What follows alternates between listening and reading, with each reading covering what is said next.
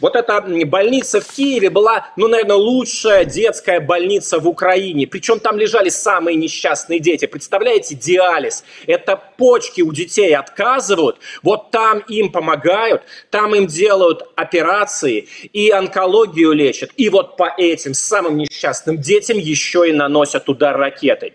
Мы, конечно, сегодня разберем, чем били. Это ракета Х-101, что там говорит Россия. Но, так сказать, Сергей Асланян всегда с нами на связи. И, Сереж, я бы вот хотел сразу, так сказать, э, чтобы Орбан здесь у нас никуда не потерялся, потому что он же у нас миротворец, он же, так сказать, делает вид, что вот сейчас он наладит. И, так сказать, э, ровно через три дня, по-моему, его пресс-конференции с Путиным, вот такой обстрел. Ты тоже так думаешь, связываешь? Орден, Орбан заступил на вахту в Евросоюзе, теперь он как раз олицетворяет собой в том числе и манипуляции, происходящие там. И он точно так же, как до него э, Путин, Брежнев, кто-то у нас был, э, самый, забыл, как у Хрущев, Сталин, он миротворец. А, потому что когда, например, вводили войска в Афганистан, это потому что ради мира. А, кубинский кризис – это ради мира. Война в Корее – это ради мира. Война во Вьетнаме – это ради мира сейчас то же самое ради мира. И Путин, с одной стороны, рассказывает о том, что у него очень много мирных инициатив. Ну, например, там, уничтожить Украину, и после этого, наконец-то, будет мир так, как ему нужно. Просто другое дело, что Украина его не слушает и не соглашается. И здесь появляется Орбан, у которого тоже внешнеполитическая деятельность. Он ездит по странам и говорит всем, а давайте вы, Украина, давайте вы сдадитесь, а то что-то вы почему-то воюете. А у меня тут Евросоюз, и это самый главный ну, вот на этой неделе. А потом еще и к Путину. Я тут с этими поговорил, потому что я миротворец. И вот у них, у обоих абсолютно одинаковая игра. Они здесь полностью совпадают. Они не говорят, потому что за этим есть какой-то смысл, есть какое-то предложение, и есть какое-то их личное к этому отношение. Это такая очень хорошая роль. Я сегодня буду миротворцем. И Россия, она продолжит убивать. Она будет убивать, потому что она за мир. Она за мир была во всех предыдущих войнах. Эти войны были всю историю Советского Союза. До этого точно так же Россия была, мы помним в учебнике истории, жандармом Европы. Но, правда, она при этом никогда не говорила, что она миротворец. А вот теперь, теперь она за мир. И Орбан прекрасно играет в эту игру. Орбан не тот человек, у которого будут в голове какие-то свои собственные мысли и сценарии. Орбан в этом отношении туповат. Он, конечно, не батька Лукашенко, но он из той же самой категории людей, у которых все очень просто – позиции не меняются, не пересматриваются, и никакие новые вводные не меняют его целеполагания.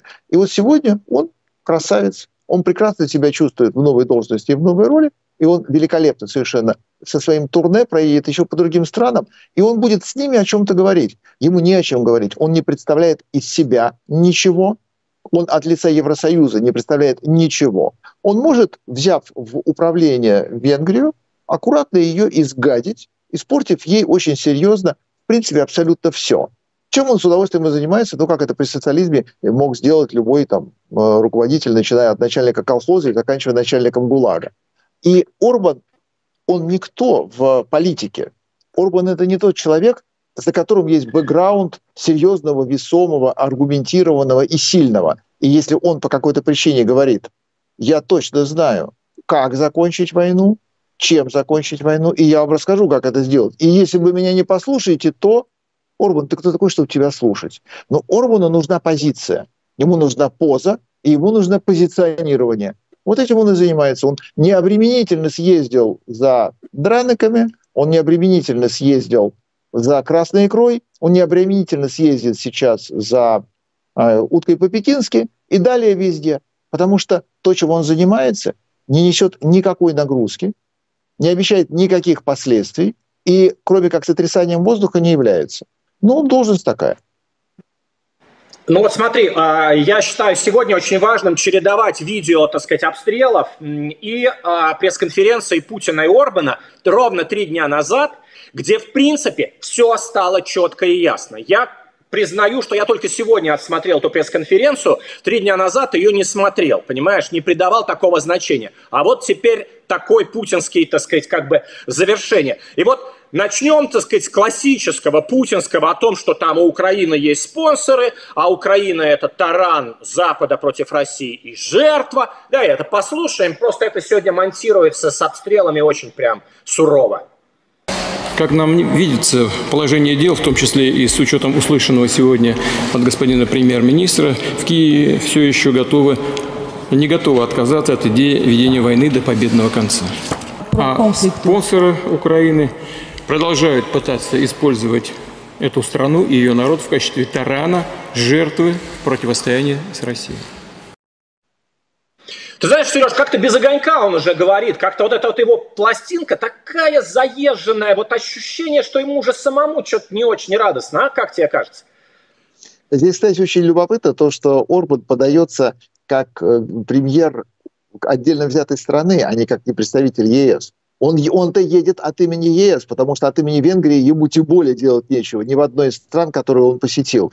Он совершенно, как Венгрия, бесполезен для Украины, бесполезен для России, он полезен для России, полезен в том числе для Украины, если бы занимался здравыми делами, только на уровне ЕС. Но Орбан здесь, в России, подается именно как визит главы государства, а не визит политика более высокого ранга. Потому что как визит политика ранга более высокого, он ноль.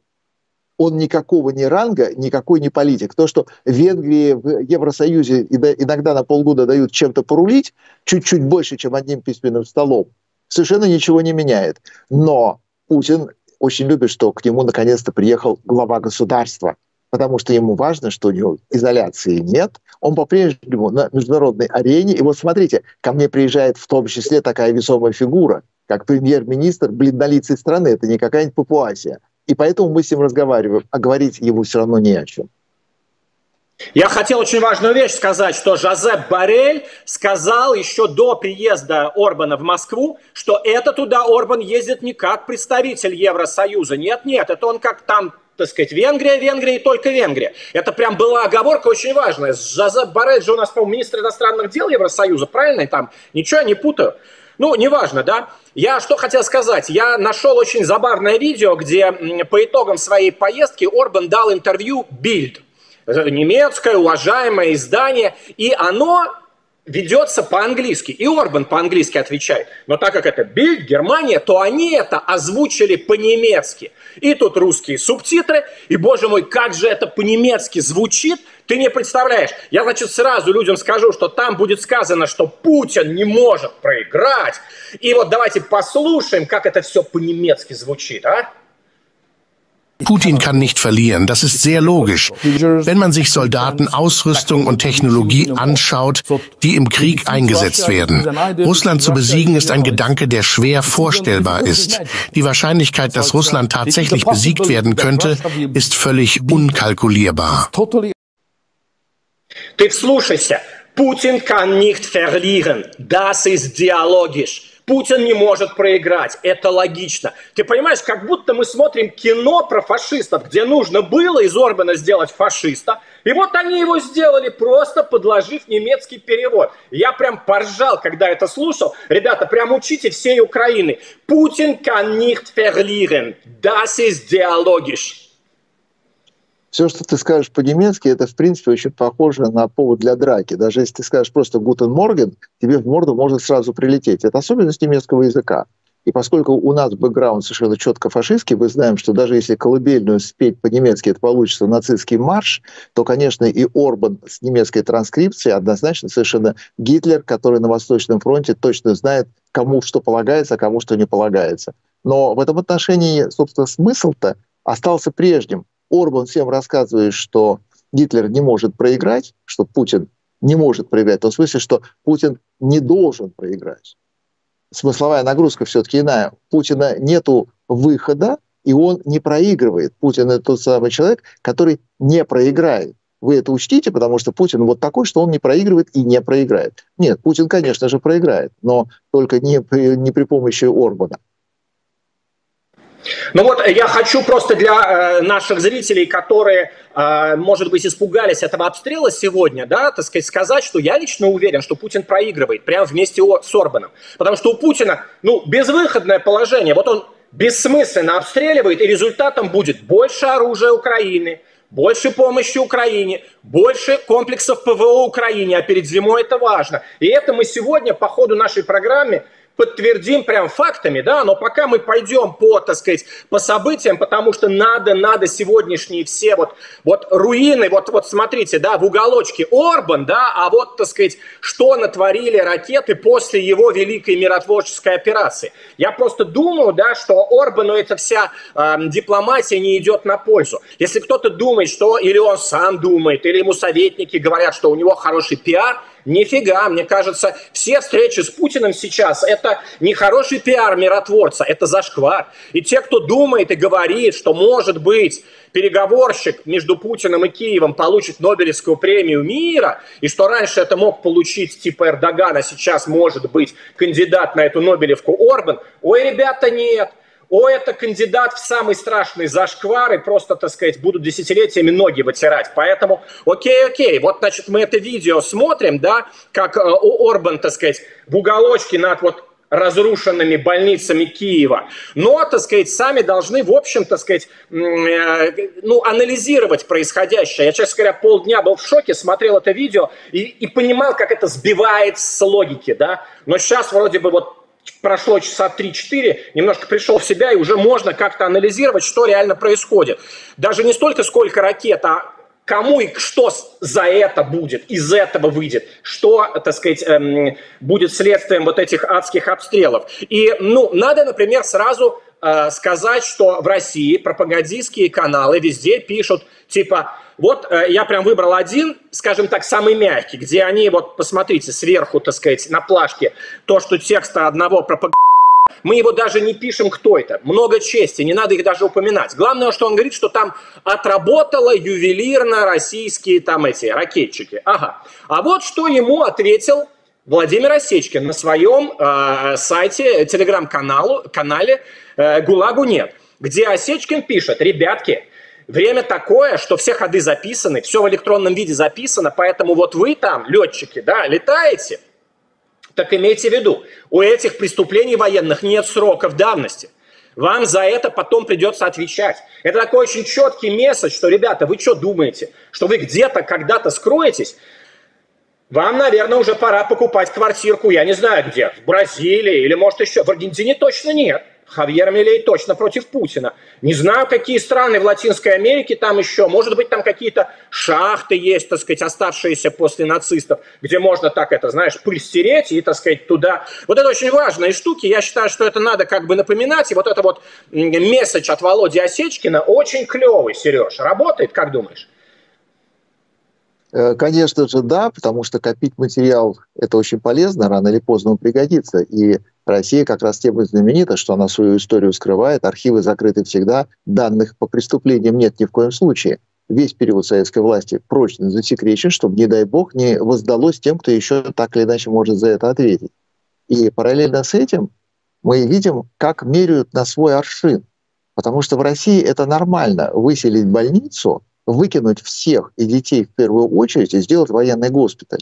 И Россия, конечно же, весь мир воспринимает таковым, аналогичным себе. Именно поэтому в оправдании сказано, что это была не онкологическая детская больница, а, конечно же, военный госпиталь. А как же иначе? Мы-то точно знаем, что все так делают. Мы-то делаем только так, как все. Нет, ничего подобного. Россия – это единственная страна, которая больных держит в подвалах, на чердаках и выгоняет их на улицу при первом удобном случае, чтобы сделать там в том числе госпиталь, а иногда и просто не сделать ничего, выгнав больных и избавившись от них.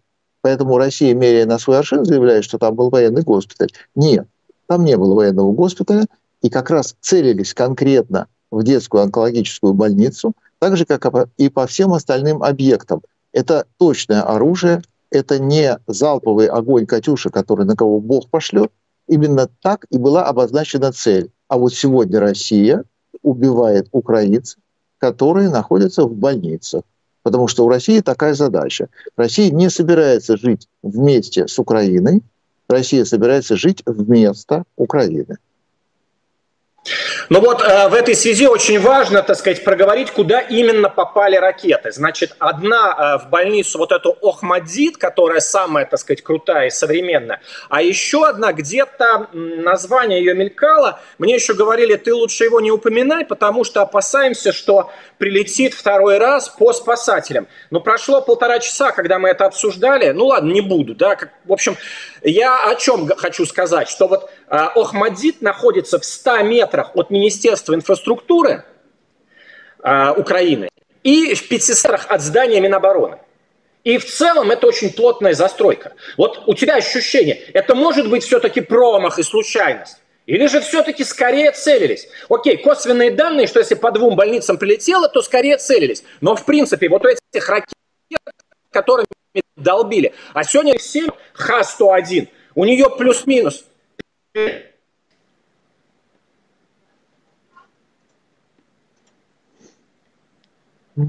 Звук пропадает. Сереж, плюс-минус 500 метров да. у ракеты Х-101 есть? Я вот не, не пойму, кто из нас отключился, ты или я.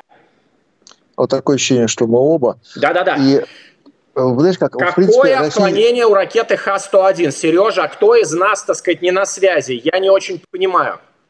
Все, все, все я, я вернулся. Вообще все, все российские ракеты были рассчитаны на ядерное оружие, а всегда Россия, когда пользовалась ядерным оружием, она не была точной, потому что с точки зрения попадания без разницы полкилометра туда, полкилометра сюда. И тем не менее целились именно в больницу, потому что точно попасть эти ракеты позволяют. Тем более современные, после того, как их сдернули со склада и немножечко их подкорректировали, осовременили. Потому что вот это оружие, это все-таки не, оно не соответствует своими характеристиками году производства. Это модернизированные версии целились именно туда, куда и попали. Это не случайность. Тогда я не могу понять логику. А зачем в больнице? Они хотят сплотить украинский народ еще больше, чтобы уже никаких поползновений, ни от одного политика даже слова не было о мирных переговорах. Ну что Путин добивается-то? Ну вот скажи. Когда российская армия вошла в Украину, когда стреляли просто по мирным людям, и было понятно, что это беженцы, что они сели в машину и пытаются все себе уехать. Какой смысл был убивать этих людей? Вот этих бегущих мам, которые за руку тащат ребенка, по ним стреляли, как по зайцам в тире. Какой смысл был? Ты же армия, ты же пришел освобождать. И с первых же дней начался фашизм обычный, когда стреляли в мирных людей, мы всю эту хронику видели, когда просто сидели и просто стреляли, потому что это так клево, это мирные люди, которые бегут. С тех пор ничего не изменилось. Тогда стреляли в том числе по отдельно бегущим мамам, с отдельно взятыми на руки детьми, а теперь стреляют по отдельно стоящим больницам. Точно так же в единственном стремлении уничтожить как можно больше украинцев, неважно каких, военной форме или в гражданской одежде, но за то, что они украинцы, то же самое, как Германия уничтожала евреев за то, что они евреи. Не надо ничего сделать для того, чтобы тебя уничтожила Германия. Достаточно было родиться евреем. Сейчас точно так же достаточно быть украинцем на территории Украины. Да нет, Сереж, сейчас по-другому. Когда десантура российская шла там к Буче, мы знаем, что собой представляет российская десантура. И как их учат, типа, допрашивать там пленных, а для них там любой мальчишка на велосипеде уже, типа, его надо допрашивать. Понимаешь? Здесь когда ракеты летят, хрен знает откуда. Мы с тобой в конце еще будем разбирать систему ПВО Украине, что дадут. Это Ахтубинск, это вообще почти там Каспийское море. И, судя по всему, не только оттуда летело. Понимаешь, это уже стратегическое решение. Это не какой-то там прапор, так сказать, или летеха, десантура, так сказать, свои садистские наклонности выказывает. Это стратегическое решение самого верха. И оно точно связано с, так сказать, с переговорами с Орбаном, где, так сказать, вот мы с тобой еще этот ключевой момент, что там было на переговорах, разберем. Ну ладно, ладно, давай, так сказать, если ты считаешь...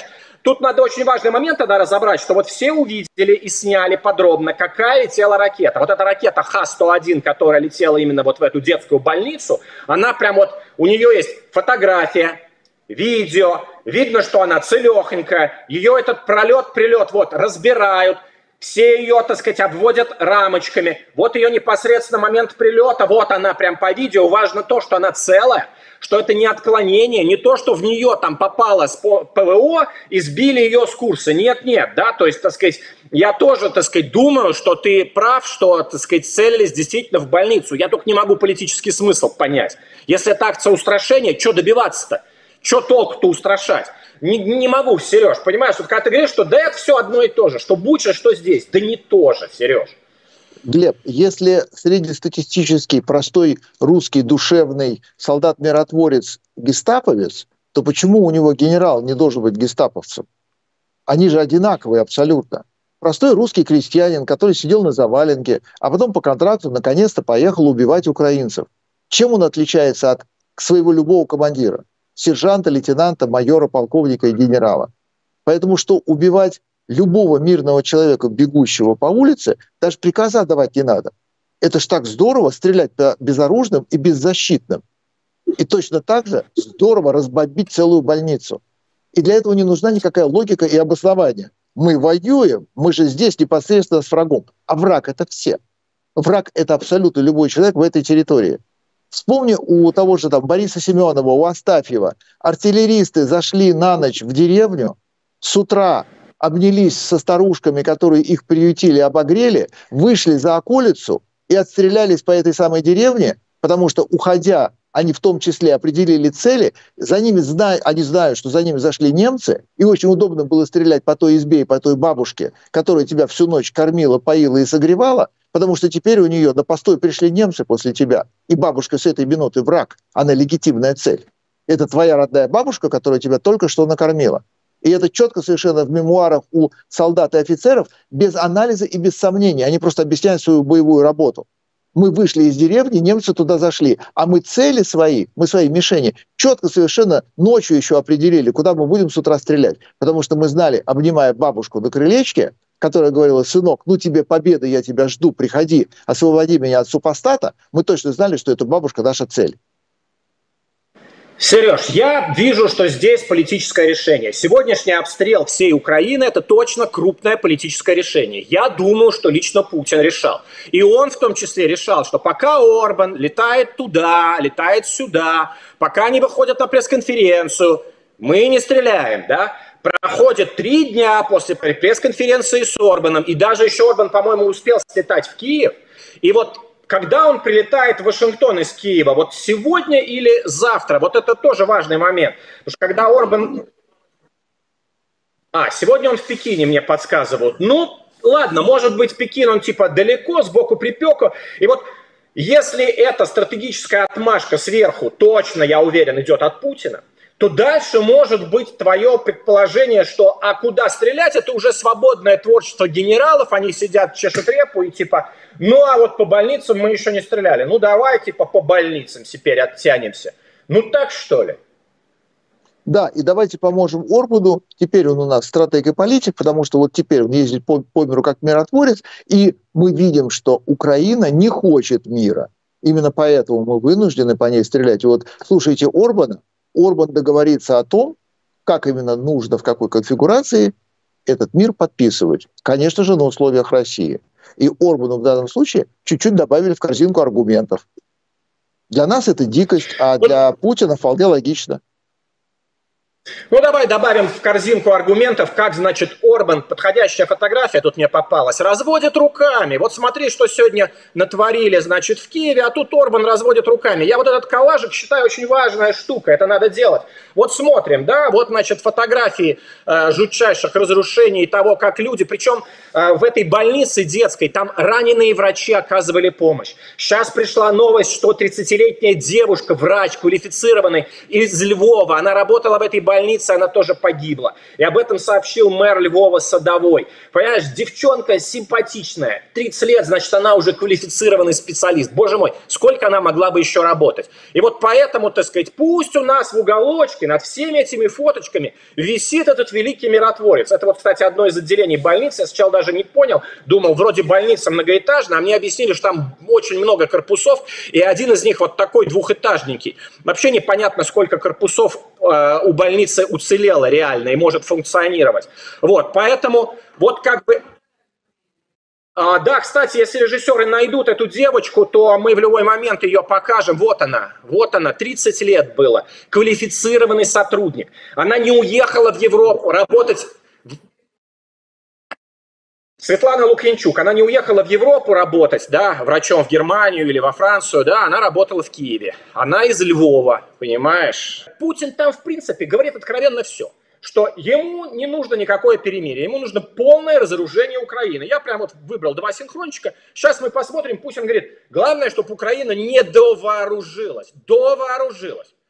Украина довооружится. И мы прям сегодня об этом в программе, так сказать, увидим, узнаем, и факты идут. Но посмотрим этого Путина.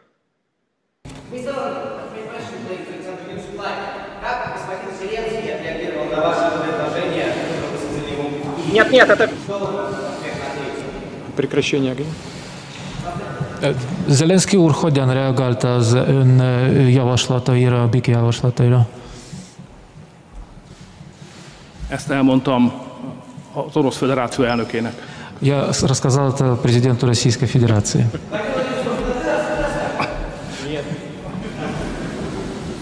Причем это должна быть не, должно быть не просто перемирие или временная приостановка огня, не какая-то пауза, которую киевский режим мог бы использовать, чтобы восстановить потери, перегруппироваться и довооружиться. Россия выступает за полное и окончательное завершение конфликта. Ну вот, э, видишь, э, довооружиться, тут ключевое слово Путина, а вот в начале то, что, так сказать, проскочило, это я хотел позже обсуждать, потому что там э, шум в зале, и это был ключевой момент пресс-конференции, но тем не менее, в принципе, да, как говорят умные люди, слушайте, говорили, слушайте Путина внимательно, он, в принципе, все говорит. Просто мы не можем слушать его два часа у Такера Карлосона, а вот 17 минут с Орбаном, прям смотри, все ходы записаны, Сереж. И опять-таки на свой аршин меряет Россия. Если она выгоняет своих больных для того, чтобы устроить госпиталь и подозревает, что все действуют так же, то Россия в данном случае, конечно же, устами Путина проговорилась о том, что она собирается перемирие, замеряться так или иначе, прекращать огонь, использовать для того, чтобы самой довооружиться, потому что ни в коем случае от Украины она не отстанет. И самое страшное, что может быть для Путина, это наращ... увеличение сил самой Украины, которая, конечно же, и довооружится, и сделает невозможным повторное вторжение, нападение на себя.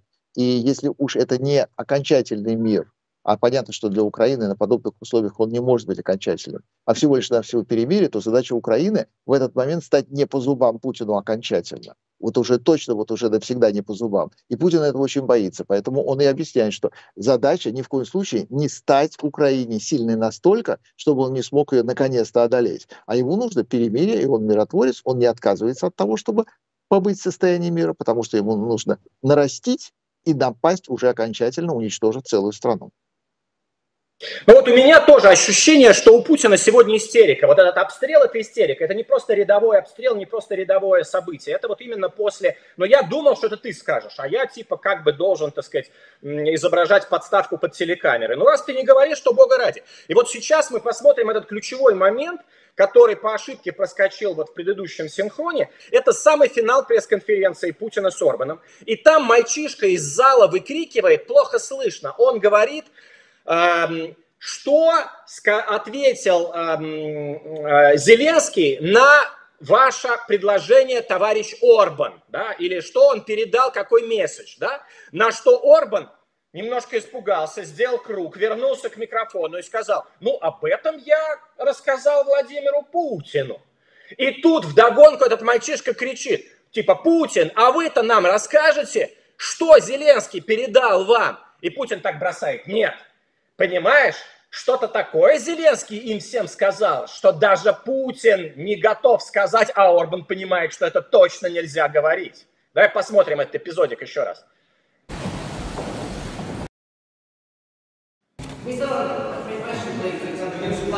Как господин Зеленский отреагировал на ваше предложение Что вы ответили? Прекращение огня. Zelenszky úr hogyan reagált az ön javaslataira, a BIK javaslataira? Ezt elmondtam az Orosz Föderáció elnökének. Я рассказал это президенту Российской Федерации. Нет.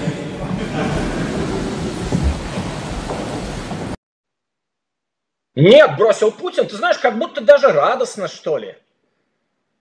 Ну, Путин же, ты не забывай, он самый остроумный в России, поэтому все, что он сказал, это либо изящная шутка, либо отливается тоже в граните. В данном случае шикарно совершенно пошутил, нет, и пошел дальше гордый собой, потому как действительно об этой теме говорить нельзя, она совершенно запретная.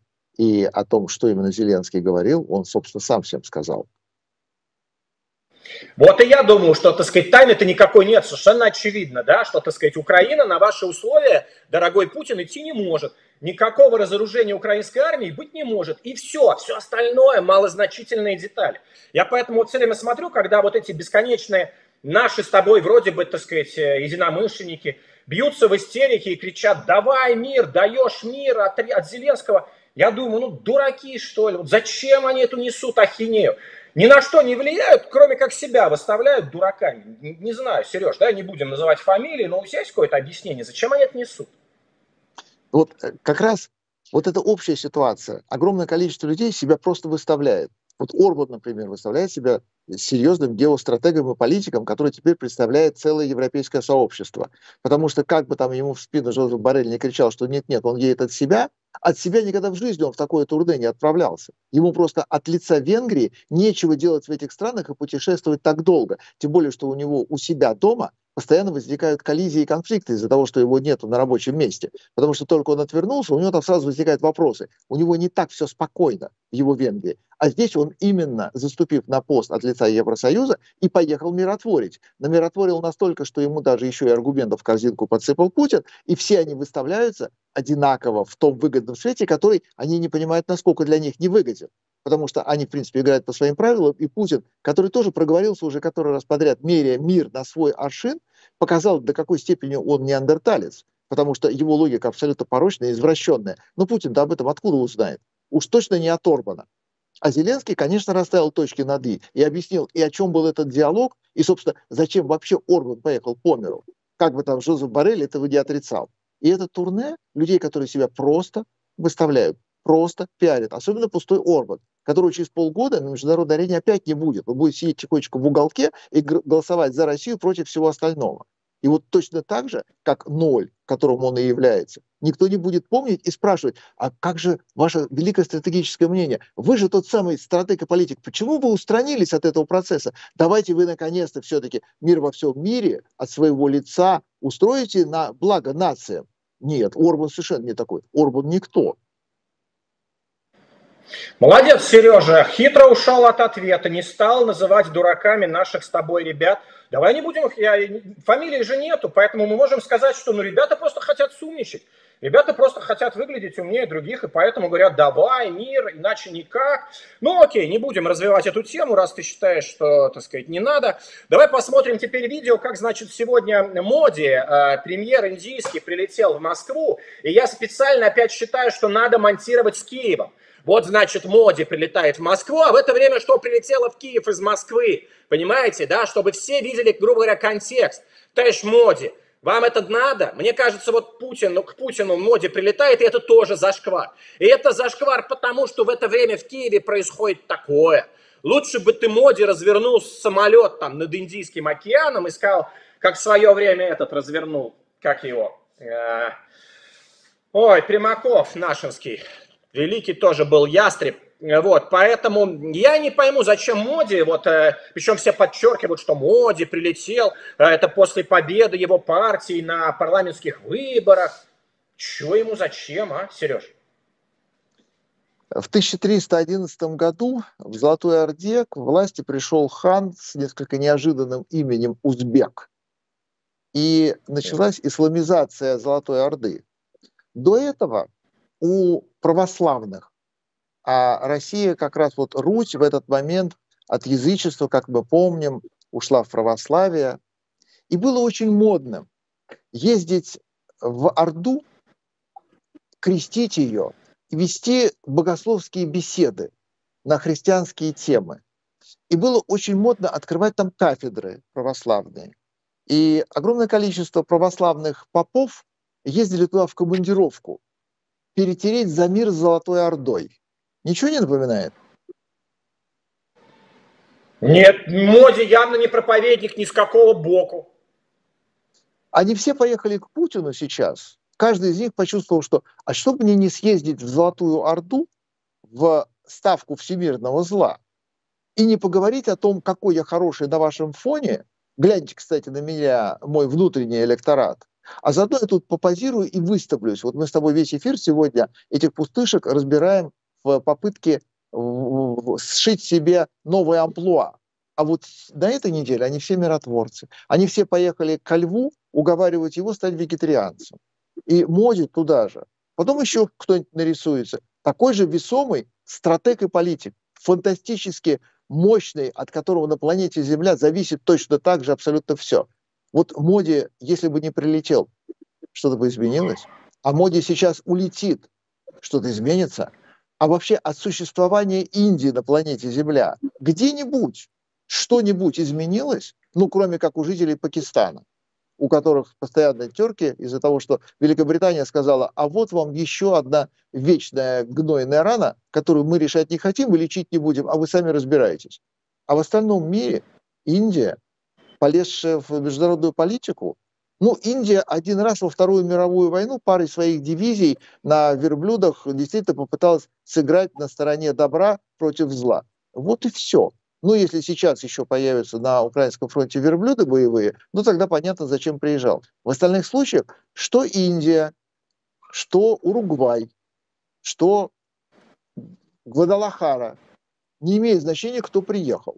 Оно приехало, оно сфотографировалось, провело фотосессию, у него там дома местные газеты это все опубликовали, и оно уехало к себе с ощущением выполненной миссии, потому что они пытались скрестить Орду. Ну, ты сравнил. Орда э, завоевала полмира в 13 веке и в 14 была еще сильна. А тут, так сказать, к Путину, к слабому, к маленькому приезжает лидер державы, у которой полтора миллиарда э, жителей – и причем все со всех сторон говорят, что Индия стремительно развивается, там, так сказать, эм, растет бизнес, вкладывайте туда деньги. Послушай любого инвест-банкира, тебе скажут, да, в Индию вкладываться очень разумно, да, так сказать, намного разумнее, чем в Китай.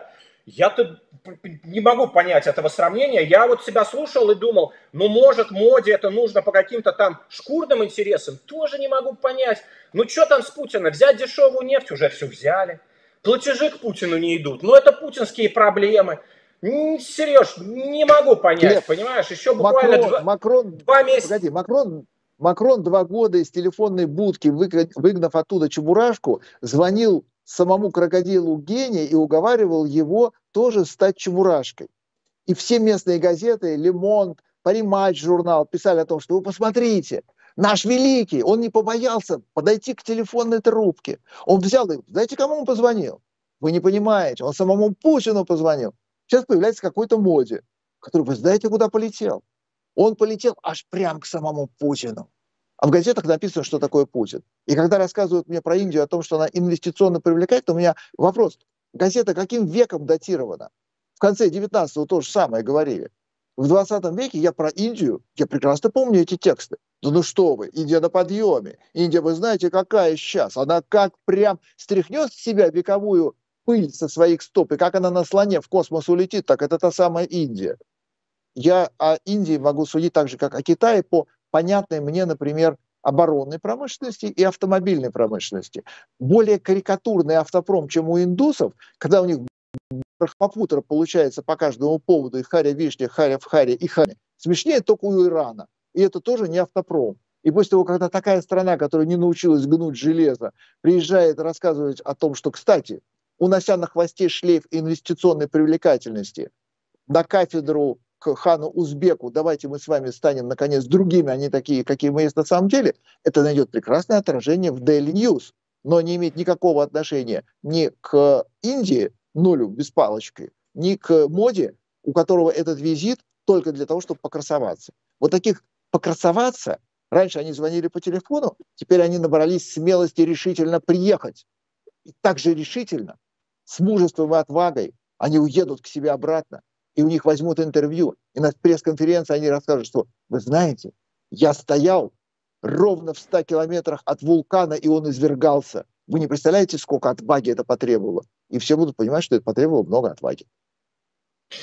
Эх, красиво рассказывали, все равно я так и не понял, зачем Моди туда приехал. Ну ладно, может кто-нибудь умный, нам, умнее нас кто-нибудь с тобой объяснит, потому что ощущение зашквара. Только что, два месяца назад у Путина там какие-то плясали африканские папуасы, а тут вдруг крутой мэн из страны с полутора миллиардами прилетает, блин, загадка, нахрен ему этот зашквар. Давай все-таки, чтобы контекст не уходил, вот, так сказать, есть видео потрясающее совершенно, когда э, в Шевченковском районе Киева сегодня э, разрушили полностью э, подъезд пятиэтажного дома. Утром было видео, когда, так сказать, люди снимают, а там прям голоса из-под завалов, еще не успели. И вот девушку вытаскивают. Она жива, ее там говорят, давай ее на носилки там кладем. совершенно пронзительное видео, и вот из-за этого видео Украина получит больше оружия, больше денег, больше поддержки. Это вот, это видео работает против Путина и всей его этой комарине.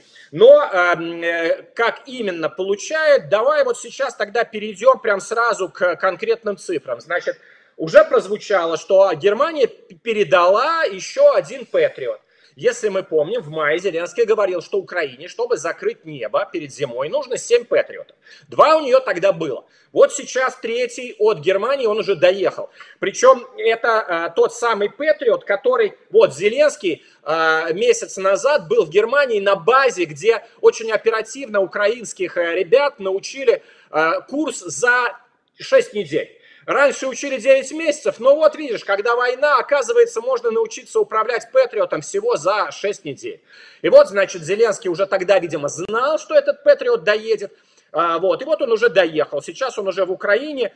И я не исключаю, что в том числе и поэтому Путин торопится еще, да, обстрелять где только может, потому что он видит, что раз Патриот, два, три, четыре, а потом получится так, что уже ни одна ракета не пролетает. Ну, как говорится, дай бог. И вот смотри, сегодня новость, что, значит, э, в Украине же находится министр обороны Нидерландов, его зовут Рубин Брекельманс, и он находится на заводе, где производят дроны в Украине, и он сказал, когда ему говорят спасибо, да, он тоже, кстати, сказал, что Патриот, да, так сказать, э, и вот он очень важную вещь сказал, что если вы меня Нидерланды благодарите, то я вам должен в пять раз больше сказать спасибо, потому что вы защищаете не только свою страну, но и свободу и демократию в мире.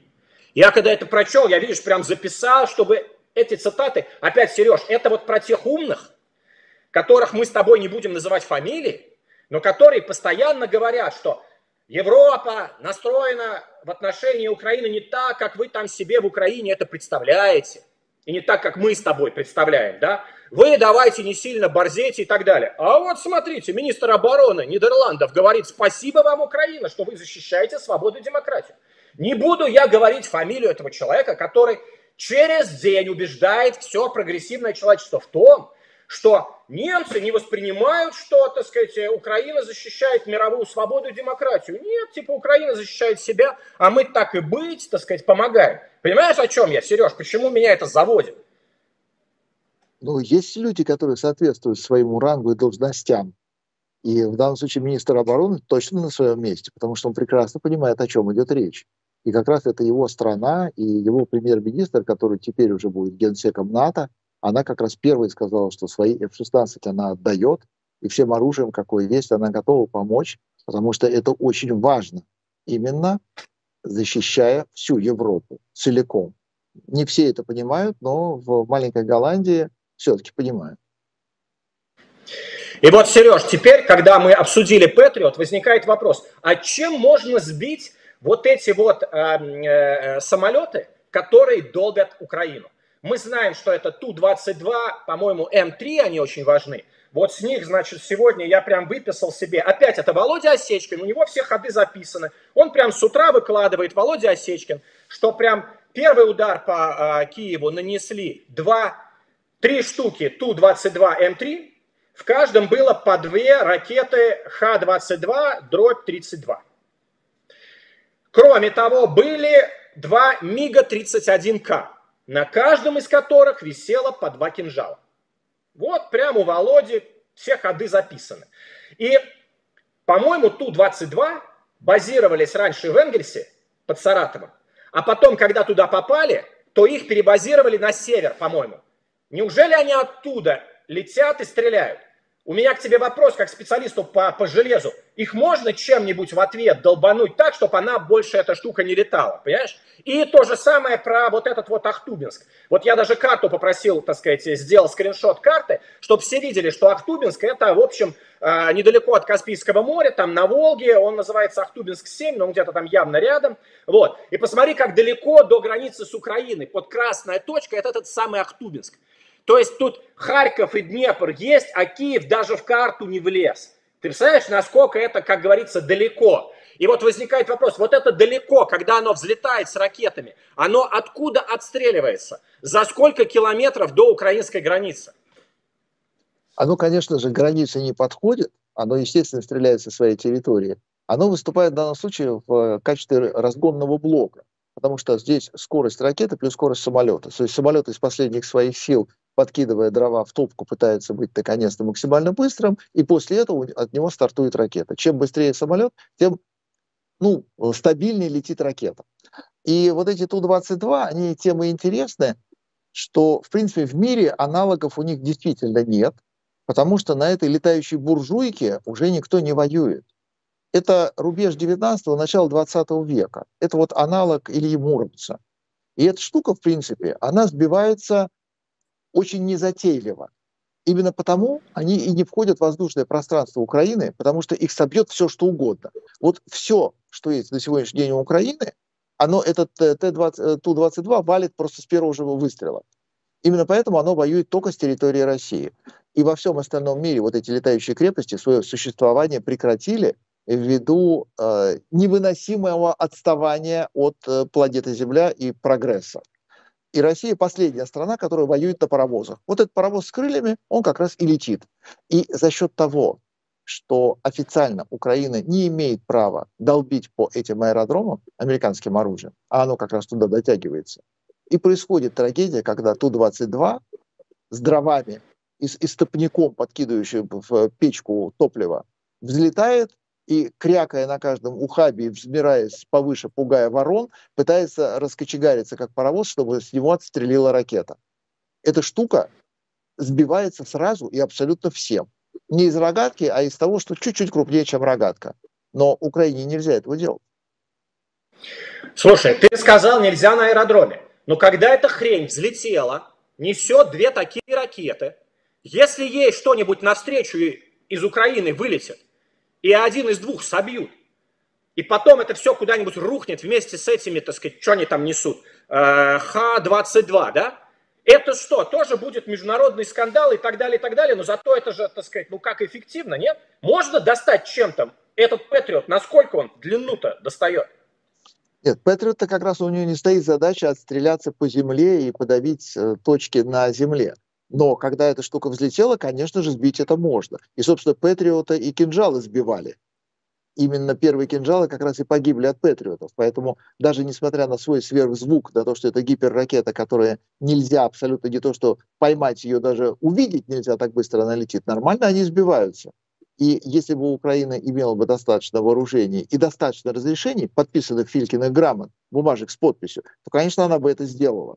Но она не вправе. И именно поэтому самолеты находятся на том удалении, они недалеко улетают от аэродрома. Они не подлетают вплотную непосредственно к переднему краю, чтобы оттуда выстрелить. Ничего подобного. Он как разгонный блок работает там, у себя, на безопасной дистанции, потому что он совершенно не боеспособен.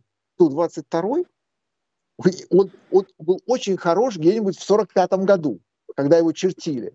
Потому что его чертили под войну, которая закончилась уже к тому моменту, когда его пустили в производство. В 69-м, 70-м он уже был, наверное, на уровне примуса. Это патефон с иголками, на котором, конечно, музыку можно слушать, но он уже не очень подхож, подходит для нормального качественного воспроизведения звука. Но Россия имеет их, она по сию пору аналогов нет, хвастается ими, воюет, избивается эта штуковина на раз, но нечем. Потому что когда будет такая возможность, конечно же, Украина это сделает. Слушай, вот мы с тобой оба живем на информационном поле. Если ты будешь, так сказать, э, где-то э, на неделе залетать на фактуру на эту тему, посмотри примерно вот за сколько километров, может быть за тысячу километров до границы с Украиной, этот самолет Ту-22 выпуливает свои ракеты и разворачивается обратно на базу. Мне кажется, эта вот цифра очень важна. Тысяча километров или 500 километров, или, может быть, он подлетает на расстояние 200 километров до границы. И тогда, может быть, Патриот может его достать. Понимаешь, да? Я по-прежнему провоцирую и говорю возможность, так сказать, а может ли Украина стрельнуть и достать этот э, летящий атакующий самолет над Россией? Ну, Россия же по Э, Украина по России, уж если и стреляет, то дронами. А вот так, чтобы батарея ахнула по Белгороду, вот такого уже нет.